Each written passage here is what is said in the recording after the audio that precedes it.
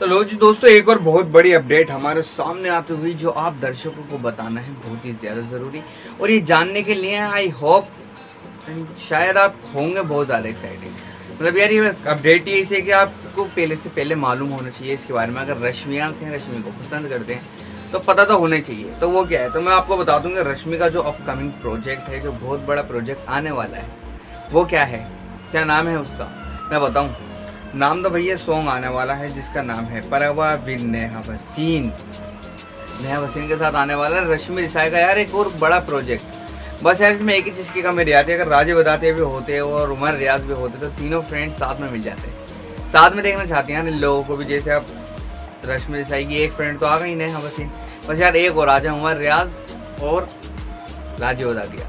देखना चाहते हैं और नेहा बसिन की सॉरी रश्मि देसाई के इस गाने के लिए हैं आप एक्साइटेड हाँ या ना? कमेंट करके फटाफट बताएँ।